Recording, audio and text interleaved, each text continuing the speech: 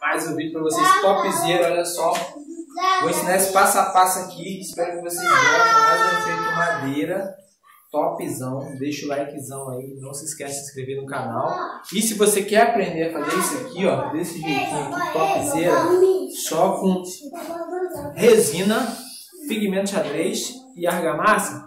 Então, fica no vídeo, se inscreve no canal e tamo junto. Vambora!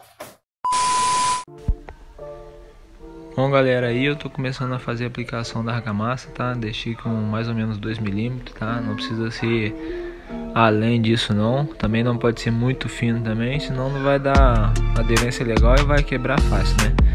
Aí eu coloquei o argamassa, não coloquei é, cimento porque aí não, é área interna, né? Tá bem cobertinha aí a garagem não tem problema nenhum. Se vocês forem fazer em área externa, vocês podem usar o AC3 ou acrescentar um pouco de cimento proporcional à quantidade que vocês vão usar, tá?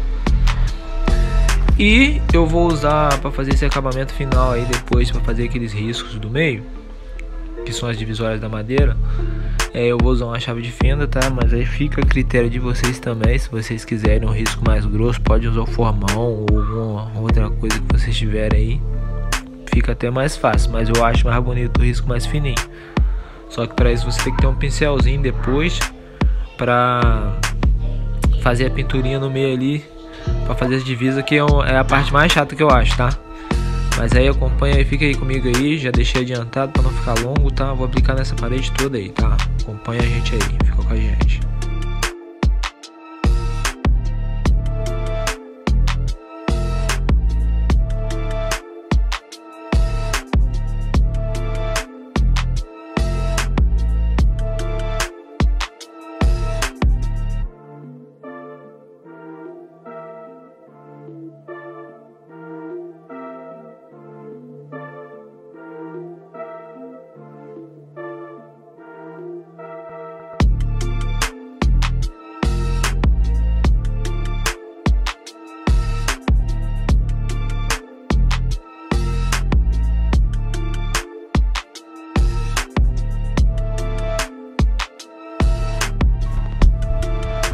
Galera, ó, eu passei uma certa quantidade, tá? Não estiquei muito para dar tempo de a massa poder secar e fiz uns pequenos vezes com a vassoura ali, tá?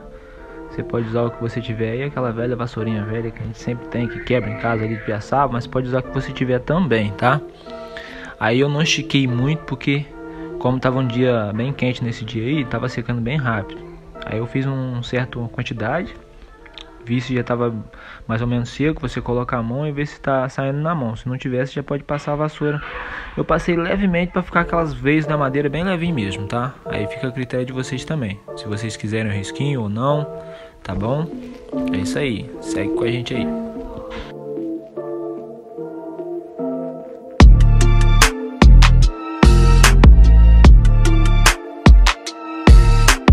Então galera, essa parte aí, ó, vou colocar a mão na parede para ver se já tá seco, ó, não saiu nada na minha mão. Esse é o momento da gente fazer as marcações das nossas madeiras. Aí vai ficar o critério de vocês, tá? Verifiquei se tá seco, tá seco. Vou fazer a minha galga com 14 centímetros. Essa vai ser a minha largura da madeira. Aí vocês vão usar o tamanho que vocês quiserem, tá bom? Vou jogar a medida de cima para baixo, se estiver nivelado lá em cima, lógico, né? 14 centímetros um de cada lado, né? 14, faço um risquinho, do outro lado faço a mesma coisa. Uso a régua e dou um risco. E assim sucessivamente. Aí vou colocando sempre a, o nível em cima da régua para mim conferir, né? Sempre na, na, na marquinha da bolha d'água ali retinho para ficar top nosso, nossas madeiras, tá bom? Acompanha a gente aí, tá? É muito fácil. Só que no meu caso aqui, como é alto, eu vou precisar de outra pessoa para me ajudar. Meu filho vai me ajudar aí para ser mais rápido e mais preciso também, tá? E galera, já ia esquecendo já, eu tô usando uma chave de fenda para fazer os riscos. Aí fica o critério de vocês, tá? Se vocês quiserem um risco mais largo, pode, pode usar um formão também, né? Que aí o risco vai sair mais largo, fica até melhor de pintar. Mas no meu caso, fica da minha preferência, eu acho o risco mais fininho, mais realista, né? Pra ficar bem engalgadinho mesmo. Mas aí fica a critério de vocês também, tá? Segue aí, vamos lá.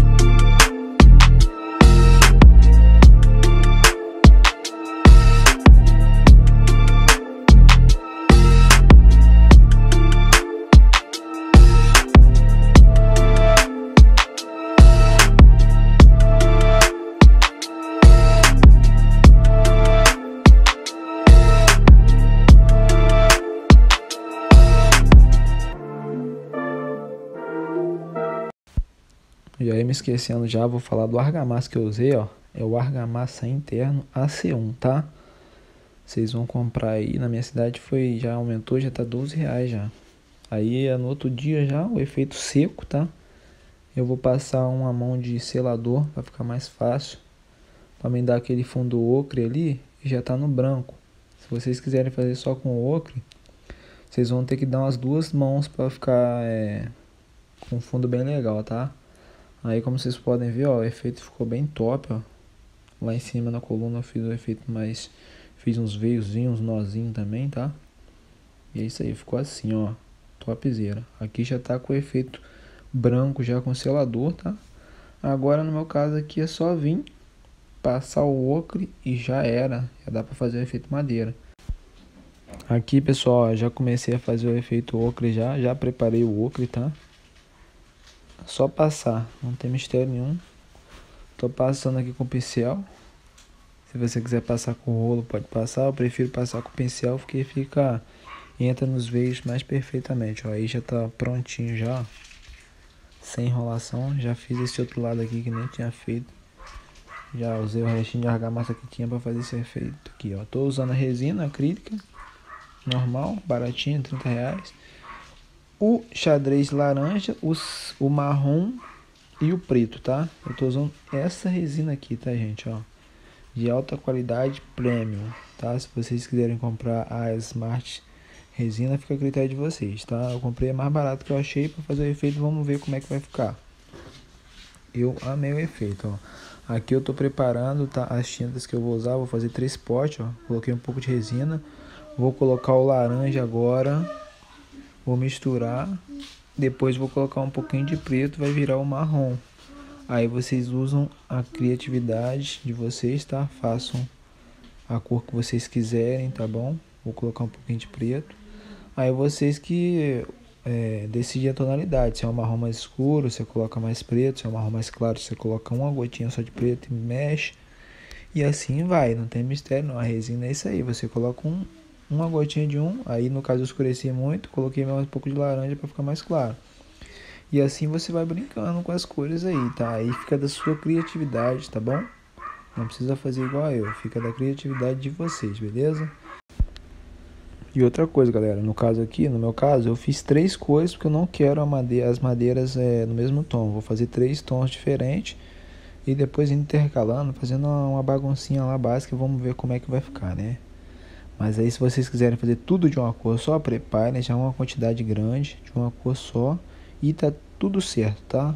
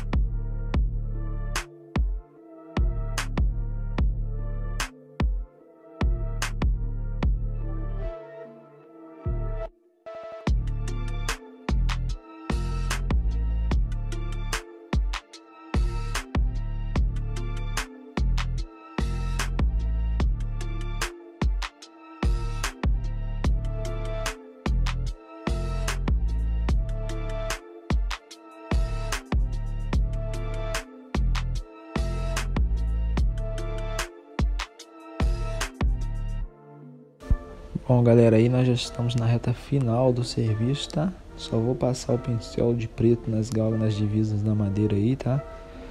Tô usando a resina também e pigmento xadrez preto, tá?